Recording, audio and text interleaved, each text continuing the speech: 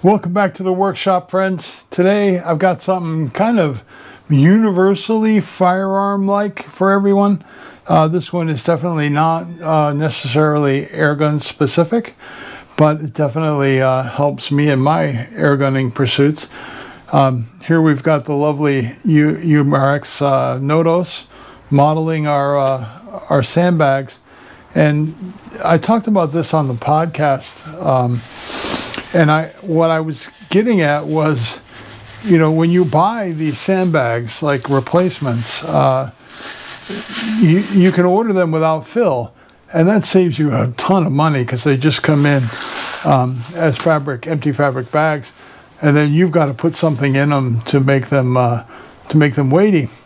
And I began experimenting with what I thought acceptable fills would be to get a nice combination of squishability where they can they can conform to the vehicle nice and also weight.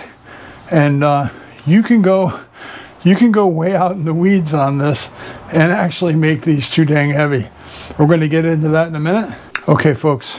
So what we've got this is the kind of drab green bag set. Um, my affiliate link below uh, has a really killer deal on two sets of these bags. And uh, I've found them to be as good or better than anything from Caldwell uh, and a lot less expensive. And I have to say, I left my Caldwell bags out in the rain once and they were destroyed. Whatever fill was in there expanded with moisture and literally blew the seams right out of those bags. So that was the end of my Caldwell bags that I had honestly had for years. But I picked up these from Amazon. They're inexpensive. And I was like, well, what am I going to fill them with? Um, so this this set of bags, uh, the drab ones, are filled with plastic beans and play sand. Now you can get a lot of different feels out of these bags by the size and the shape of the aggregate you use to fill them. Uh, the plastic beads all have rounded corners and the sand actually is kind of cubic. It's square. So what it gives you is actually quite a nice feel to these bags. And the weight is a lot more reasonable on these guys than option number two that I filled these with, the darker green set. So the drab weighs in, the large bag is 11 pounds, 15.7 ounces. And again, that's plastic beads and sand, probably about 60% plastic beads and the rest is play sand.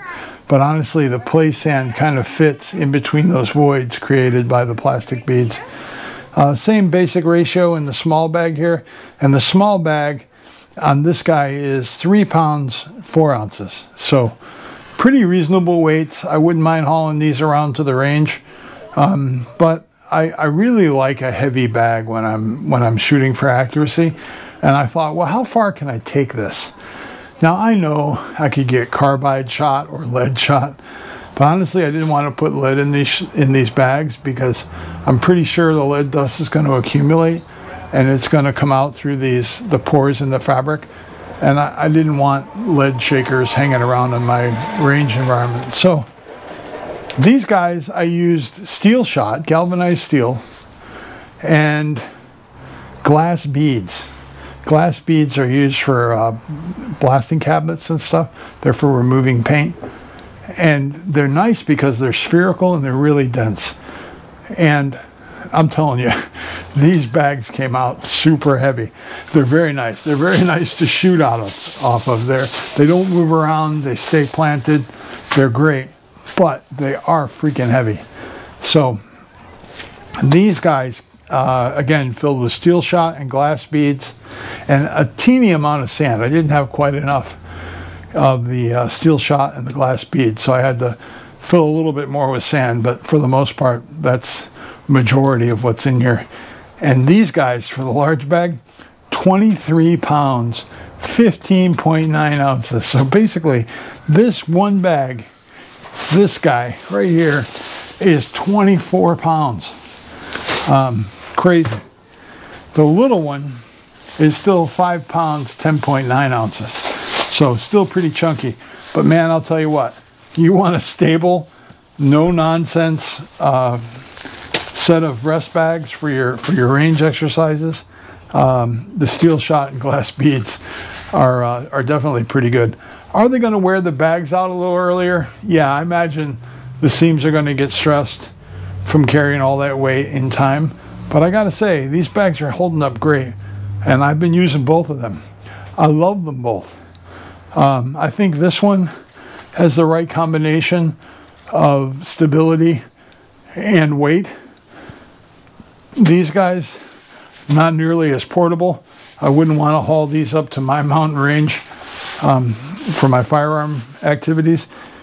But for, for air gun use out here on my range right outside the shop, I really like these heavy bags. Now, I'll put links down below to everything but the steel shot. You'll have to source that yourself. But I can definitely give you um, a link for the plastic beads that I used and these bags themselves. Place and you can get that at any any hardware store or Home Depot or any of the big box stores are going to have that. So anyway, do experiment, do play around. These bags are cheap enough and they're easy enough to fill. And we'll take a look at what it takes to fill one of these guys really quick. This flap, you just push it out from underneath the belt there and then it's velcroed. And that's it. You just pour whatever media you want down in there and you get the uh, you can control the tension on the fabric by how much fill you put in how far you overfill them put that velcro back on and then thread it right back through this opening and I don't know, I haven't seen any leakage from these bags at all. Um, I kind of like them, especially for the cost. They're really inexpensive. Great addition to your range kit. Doesn't matter whether you're a firearm guy or an airgun guy, they work really well. Check it out. Remember friends, be a light in the darkness. That's all for this episode. Have a great day.